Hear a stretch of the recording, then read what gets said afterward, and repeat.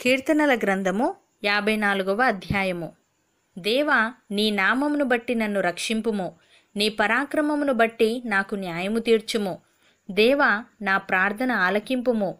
నా నోటి మాటలు చెవినబెట్టుము అన్యులు నా మీదికి లేచి ఉన్నారు.